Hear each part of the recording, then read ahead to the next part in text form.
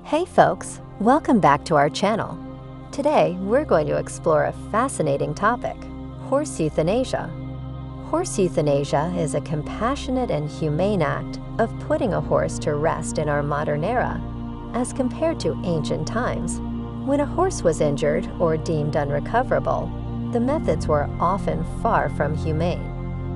Horse euthanasia is a challenging decision, but it's made with love and compassion for our equine companions.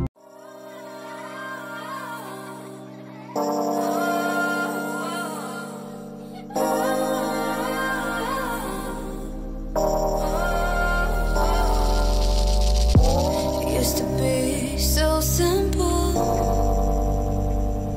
Haven't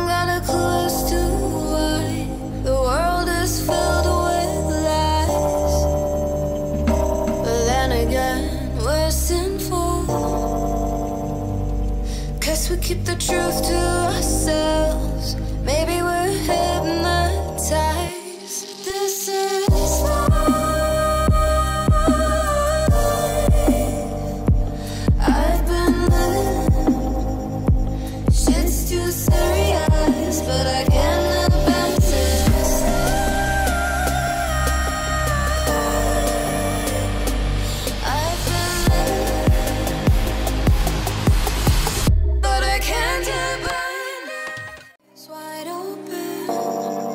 it's a thing that you do.